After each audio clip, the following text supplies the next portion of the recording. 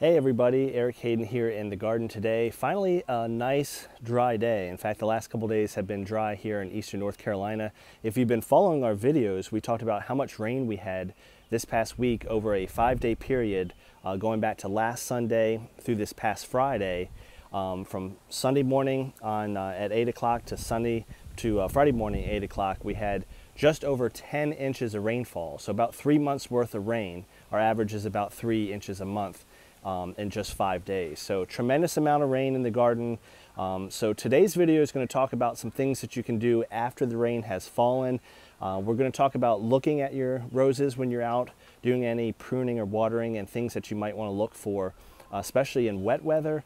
And then one thing that kind of surprised me, spider mites. Usually they are more prevalent in hot and dry weather, but I'm starting to see some spider mites already in my garden. Shouldn't be too shocked because almost exactly a year ago I did a video on spider mites talking about spraying and if you click below on more videos you'll see some of the things I use in the toolkit to spray for mites. So we're going to show you the garden. I stopped deadheading just to show you um, a, a, quick another example on deadheading, but for the most part I've deadheaded most of the roses. Uh, we are past peak.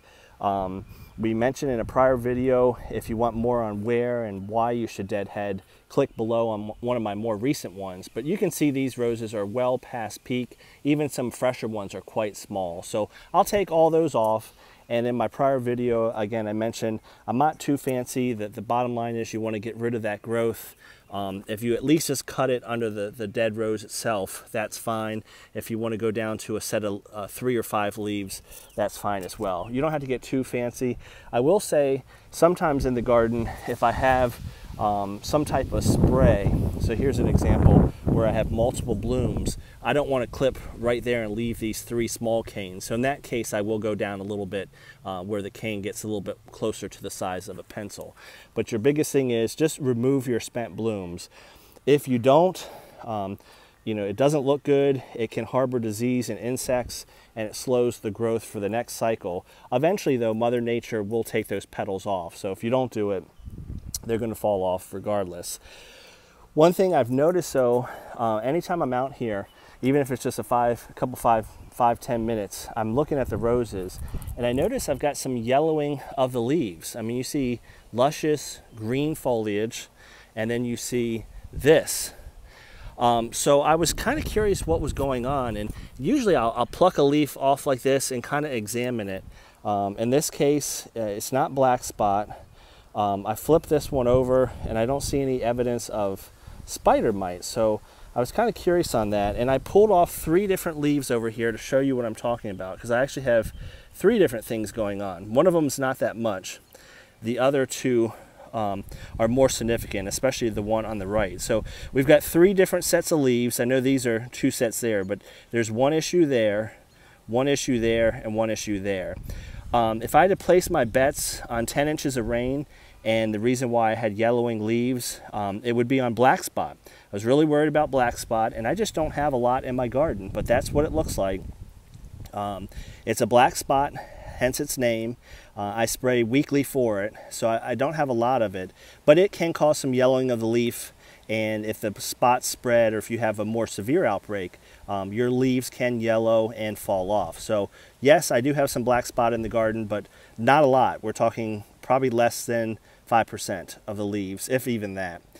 So the next culprit, I look at these two sets of leaves. I said, what is going on?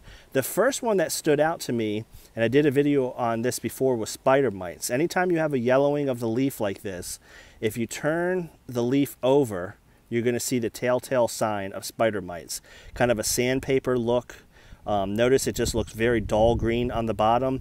Um, and I don't think it's going to show up on the camera um, but sometimes I picked this leaf on purpose. There's a little bit of webbing in here. You can actually see the suckers crawling around and you can see a little bit of webbing.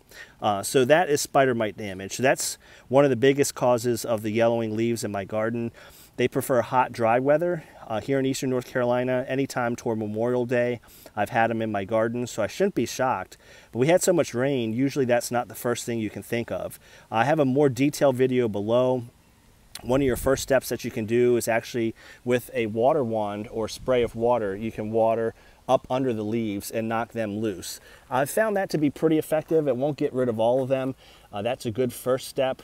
Um, a second step is a miticide. And again, I have more information below in a video from about a year ago. And you'll want to rotate those. So this morning I sprayed with Avid and Tetrasan. So these should be a distant memory because uh, I caught it pretty good. But So that's spider mites. So we have a, a little bit of black spot, definitely have spider mites in the garden. And the last one is this. Um, this is some type of deficiency because of the rain. And again, if you turn the leaf over, you can learn a lot. So here's our comparison, spider mite on the right, deficiency on the left. I'm gonna examine this leaf. Notice how it's spotted and the veins are mainly the parts that are yellow. And contrast the underside of that leaf with the underside of the one on the right. The one on the right is the spider mites, and you can see the difference. It looks like sandpaper. The one on the left is clean. Uh, I don't see any hint of spider mites. So if you have some yellowing leaves and you Google it, you're going to hear everything from black spot on the left to some type of deficiency, nitrogen or iron, or spider mites. Examine your leaves uh, top and bottom to determine what's going on, and then you can attack them. I always spray for black spot, so I don't have to worry about that. I was already doing it. Introduced a miticide um, in the spray this morning, so I don't have to worry about spider mites anymore. And when I say don't worry, I'm still going to be watching, but I'm doing what I need to do. And the last one's a little bit more tricky. Um, this could be nitrogen or iron. Um, with the 10 inches of rain, perhaps um, we have some uh, nutrients that washed away. Um, perhaps I need some more uh, oxygen to the soil. Um, the reason why I say perhaps, I have raised beds, so it's not like I have a drainage issue. But just to be safe, I may do a pitchfork and try to open the soil a little bit. Um, and then I might do a little bit of Miracle-Gro, something quick acting. Um, but if you saw my last video, I just put down some organics. They are slow release, but in that slow release uh, generic Osmocote I have, there was a little bit of urea in it. So nitrogen, and I think it had a little iron in it too. Um, the soil should be replenished uh, with what I just did the other day. So we'll certainly keep a, a watch on that. Speaking of the organics, uh, I mentioned I use alfalfa pellets. Some folks don't like those because it's not pulverized like the meal is. Uh, but notice um, with our, I didn't do this at the beginning of the rains, but I did it toward the end of the week and we had another inch or two of rain and you can see that really pulverized the um, alfalfa pellets and you can still see some of my fertilizer um, that is yet to work into the soil. So I'll probably scratch this in a little bit while I try to aerate uh, if my issue is oxygen. So hopefully you enjoyed that video. I'm gonna come around here just to show you what it looks like from the top side. Um, again, if you have yellowing leaves, kind of pay attention to what your weather's been like. If it's been hot and dry, it could be spider mites.